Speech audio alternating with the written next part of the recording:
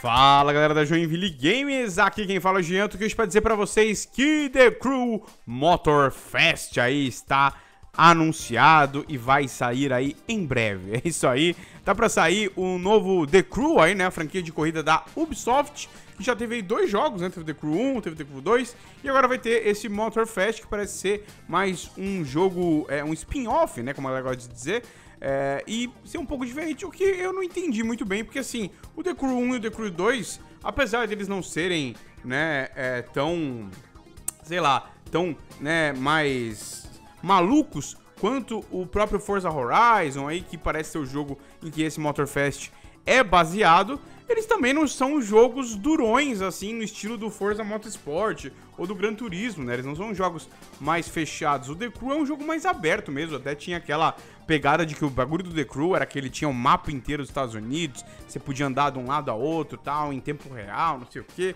né? Tinha todas essas coisas assim, então era um jogo bem aberto. E eu não entendi muito bem essa mudança de, de é, é, perspectiva para esse spin-off, porque me parece que não vai ser tão diferente assim de como é o The Crew, né? No Forza a gente entende que o motorsport é aquele negócio fechado, você corre em pista, né? É um negócio mais para automobilismo mesmo, né? E o Forza Horizon já é uma parada mais maluca, de corrida de rua, né? Velozes e Furiosos, mais apegada, entendeu? Enquanto o The Crew já parecia ser mais assim, né? Já parecia ser mais é, é, Velozes e Furiosos do que o próprio corrida fechada, né? Automobilismo, né? Mas agora eles vão fazer esse mais maluco. E eu acho que a diferença grande, pelo que a gente pode ver pelo trailer que vocês estão vendo, é que ele vai ter algumas coisas realmente mais malucas até do que o próprio Forza Horizon na vida tal. Por exemplo, loop, pistas diferentes, sabe? Umas paradas mais malucas, assim, é, que vai lembrar mais aqueles jogos que saiu há um tempo atrás aí da Hot Wheels, sabe? Aquele jogo que você dá loop e tal, que tem umas pistas que desafia a física. Então,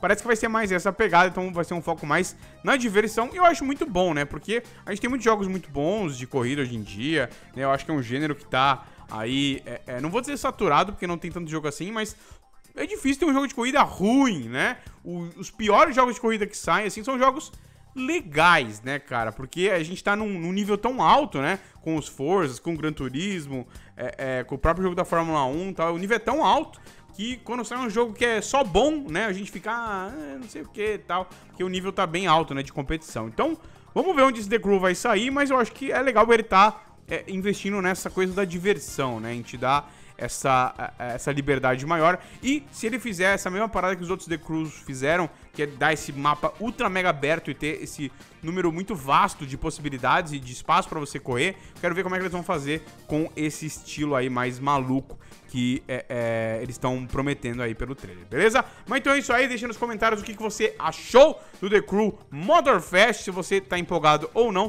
Também não esquece de deixar aquele joinha maroto pra ajudar aqui na divulgação, não esquece de seguir as nossas redes sociais e também não esquece de se inscrever no canal, clicar no sininho e acompanhar todo outro conteúdo aqui no canal da Joinville Games, beleza? Então é isso aí, vou ficando por aqui, um abraço pra todo mundo e até mais!